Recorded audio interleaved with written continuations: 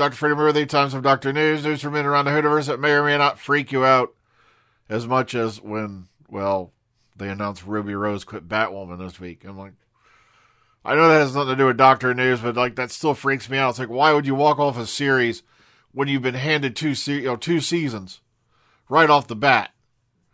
Doesn't make any sense to me. You know, something must be going on. I don't get it. But that's a whole nother subject. Carole Ann Ford, by the way, remains keen on a TV return to Doctor Who. Now, in SFX magazine, you know, she reiterated her interest in appearing as, of course, Susan in Doctor Who with Jodie Whittaker. She goes, Now, there's a thing I've toyed with that, oh, grandpa, oh, ma. I think Jodie is fantastic. It's a wonderful thing she's doing. She does it fabulously well. And how it's changed. We had to do what we did with Threepence but they had some really big budgets. It's amazing. Now, Ford, of course, promoting this new range, Susan's War, where, you know, if you'd been listening to Big Finish, um, she basically got recruited for the Time War in a, um, I believe it was one of the Companion Chronicles, something like that. It was one of the short trips, something along that line. And she goes right here. Peter Capaldi unsuccessfully lobbied to have Susan rejoin the 12th Doctor but it was not to be. Ford even visited the TARDIS set in 2014 while Peter Capaldi was filming. Oh, bless him. Peter was batting for me the whole time. He desperately wanted us to do something together. I went up to Cardiff and he asked me, Would you like to come and see the set? He said, and I said, Of course, oh, yes. You know, wow, please. And we were dancing around the TARDIS set together, and he was singing, I want you to come back, I want you to come back. So I started singing, I want to come back, I want to come back. Oh, she goes, oh my God, I'd love to work with him. He's so fun and talented. And of course, this just goes to show you there's a lot of classic companions who wanted to come back. They've said this and repeatedly stated this, yet the BBC will not allow it to happen. Um, it, it's just sad to me because, as I keep reminding people, the only classic companions who have returned on the main show are Sarah Jane Smith and K9. Nobody else. That's it. Now, if you go to Sarah Jane Adventures, that's a whole nother you know, ball of wax. They were going to have basically everybody and their grandmother coming back over there. But it, sadly, that all died with Elizabeth Sladen. All right, next up over here, Doctor Who writer Russell T Davies reveals the two star names he thinks should have replaced David Tennant. Now, what he means here is not replaced as in being the next Doctors but when you had that bit in the Stolen Earth, you know, where or Journey's End, whatever it was, where you had the fake regeneration, originally he had an idea that you know, like these one of these two would pop up and temporarily be a doctor, and then revert back to David Tennant. And the two names he brought up were Judi Dench and Ian McKellen. So it's not like it would have been like an extended thing. He goes, I'd have cast a whole new doctor just for one scene, he said, quote. Ian McKellen, Judi Dench had them run around the TARDIS and discover the hand and regenerate back. Imagine why didn't I? But, you know, these are things, you know, as they say, you know, for, eh, you know, hindsight is 2020. The Unsung Heroes of Doctor Who Fandom Events have announced a brand new lockdown project celebrating the Unsung Heroes of Doctor Who. Hosted by Alex Moore, this series of YouTube videos aims to tell the behind the scenes story of the members of the cast and crew whose perspective might normally go untold. And there's a whole list of people here that are going to appear in this. And I highly suggest you do listen to these or you'll watch them because you learn so much about how things differ between now, then, and even, you know, in the new series, things have changed quite a bit. Oh gosh, compared to like back when they were doing, you know, Chris Eccleston and all that. And then even all the way back into the classic series, it was a whole different ball of wax all the time. Oh, goodness gracious. Like, a lot of people freak out when you tell them, oh, by the way, you do realize that back in the Hartnell era, they filmed everything as live, which means they ran entire scenes. They didn't do bit by bit like they do today. Kind of weird stuff, you know, kind of freaks you out. And then you wonder why, you know, they were going mad because, you know, you'd be running scenes forever, it seemed. All right, Black Eye 43, Robots of Death, latest release in the Black Archive series is out. Uh, this series from Obverse Books explores in detail the making of the story.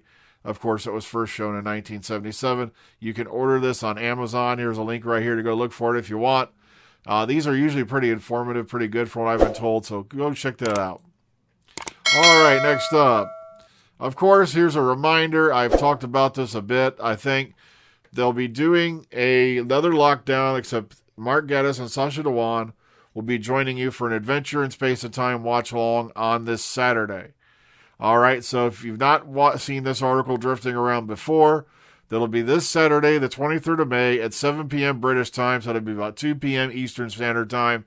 If you want to go, you know, t- t- join along with them, and be sure to look for the hashtag London 1963 if you want to participate in this particular watch along.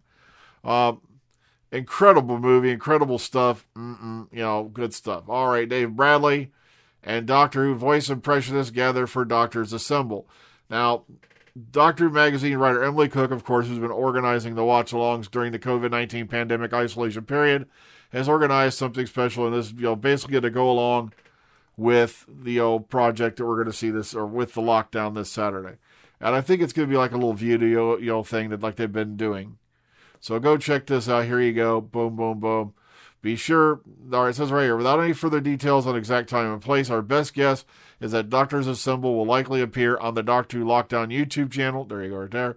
After the 90 minute adventure in space and time watch along on May 23rd, likely 9:30 British Standard Time, which is about 4:30 Eastern Standard Time around there. So be sure keep your eyes out for that. It's uh, there's a little like quote unquote trailer thing here for it. So sounds to me like just a bunch of voices getting together for a thing. We don't know how long it's going to be or whatnot. Okay, new details from the production designer, and this goes along for Series 12. In the second part of an interview with SFX magazine, David Shurmer, or that's David, or so uh, it's basically pronounced like David, if I remember right, revealed new details about set building and location filming on Series 12. And I love checking this stuff out because it gives you an insight as to how they're doing you know things behind the scenes. The, you know like building a sets and all that just to show you you know boom boom boom you know how they do this.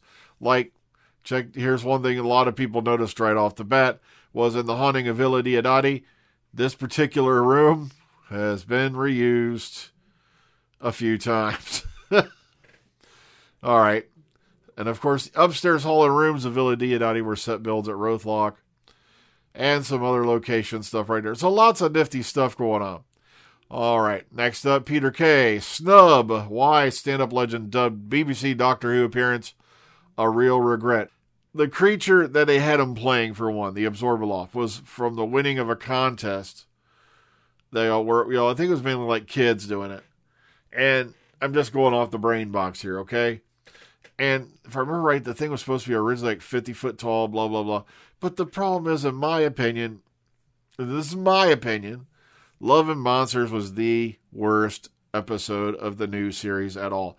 That's why I die laughing when people talk about how bad Series 11 was. Or when it's like, dude, Love and Monsters. And then Fear Her right in that same season. Don't tell me how bad Series 11 was because you're obviously, you know, putting the previous series up on a pedestal without remembering this shit bag. Okay, I'm sorry.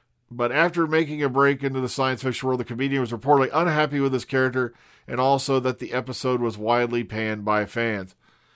It's not your fault, Peter Kay. Okay, it's not your fault. You have to blame the writing and the showrunner and all that on this one. Okay, and, and then again, uh, so not at his fault at all. I'm not going to blame Peter Kay because guess what? It was widely panned by fans because I hate to say it, there's a lot of people out there who do love this episode.